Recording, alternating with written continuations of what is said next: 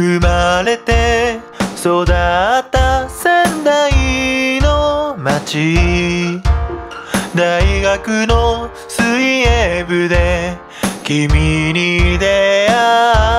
った映画に突然誘われるしいつもちょっかい出してくる年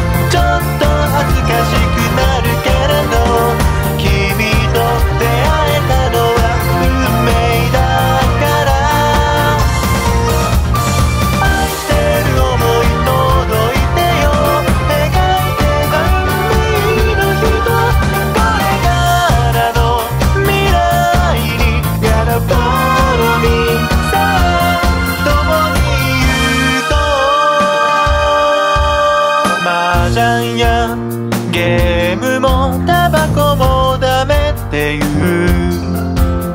掃除も洗濯もやり直しを命ぜられるし。真面目すぎ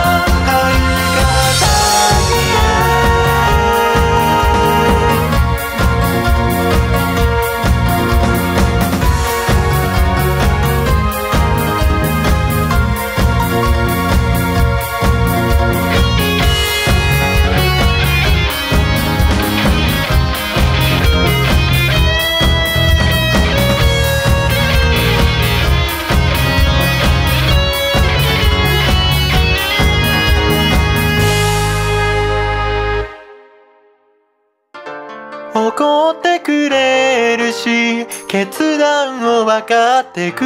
れて。優しいとこもマジさ